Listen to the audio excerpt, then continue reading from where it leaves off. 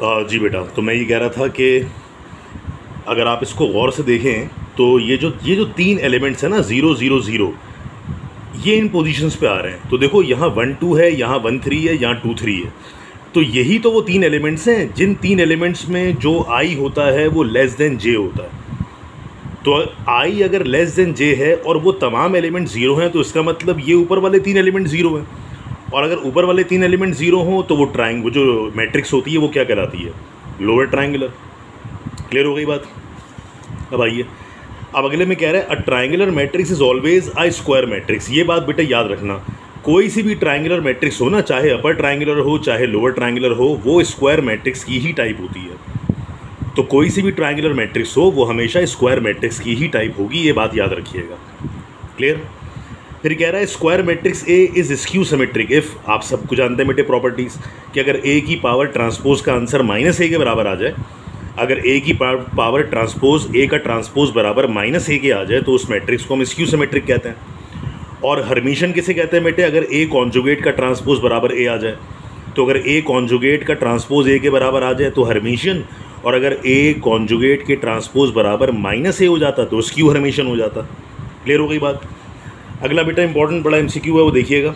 ये इसने दो डिटर्मिनेंट्स दिए में बेटे आपस में। ये कह रहा है कि ए बी ज़ीरो सेवन बराबर है टू थ्री वन और माइनस नाइन के। सही है? ए बी ज़ीरो सेवन बराबर है two three one minus nine के। कह रहे हैं इसमें से ए की वैल्यू फाइंड आउट करो। तो बेटा इसमें ए की वैल्यू जो है, वो मैंने ली है माइनस थ्री अब ए की वैल्यू माइनस थ्री कैसे बनेगी? तो बेटा इस इस डिटर्मिनेंट को आप सिंप्लीफाई कर लो। देखो, जब इस डिटर्मिनेंट को सॉल्व करोगे तो राइट एलिमेंट राइट से मल्टीप्लाई होगा। बेटा सेवन को ए से मल्टीप्लाई किया तो आंसर आ जाता seven A is equal to और बेटा, जब लेफ़्ट को लेफ़्ट से मल्टीप्लाई कराते तो ज़ीरो बी से मल्टीप्लाई होकर ज़ीरो हो जाता। तो वो तो लिखने की ज़रूरत ही नहीं है।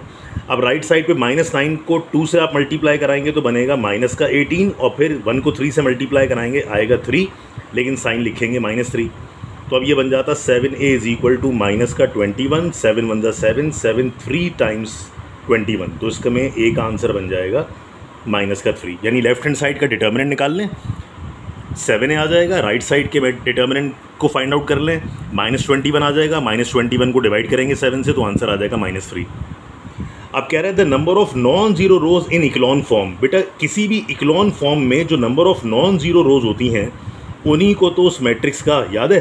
रैंक कहा जाता है।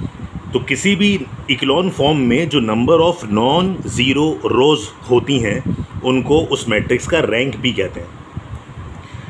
अगला है if A is idempotent अगर बेटा कोई मैट्रिक्स ए आइडम पोटेंट है तो उसके लिए फॉर्मूला क्या होता है? प्रॉपर्टी क्या होती है? ए स्क्वायर बराबर है। अगर किसी मैट्रिक्स का स्क्वायर लेने से जवाब में वापस वही मैट्रिक्स आ जाए तो उस मैट्रिक्स को हम कहते हैं आइडम पोटेंट इसी तरह बेटे आपको याद है, अगर ए की पावर पी बराबर नल मैट्रिक्स के आ जाए तो उसे बोलते हैं नील पोटेंट और अगर ए स्क्वायर बराबर आई के आ जाए तो इसे बोलते हैं इनवॉल्यूटरी और अगर ए की पावर के प्लस वन ए के बराबर है तो इसे बोलते हैं पीरियोडिक मैट्रिक्स ये सारी टाइप्स हैं, सारी डेफिनेशन हैं, जिनको आप पढ़ के और याद करके जाइएगा बेटा, जितनी भी डेफिनेशन आपको लिखवाई थी सिमेट्रिक की स्क्यू सिमेट्रिक की हरमीशन की स्क्यू हरमीशन की, इसी तरह periodic null matrix involutory idempotent nilpotent इन सब की प्रॉपर्टीज़ सबकी डेफिनेशंस जो लिखवाई थी मैथमेटिक्स मैथमेटिकली वो सब याद करके जाइएगा. ठीक है बेटा? Thank you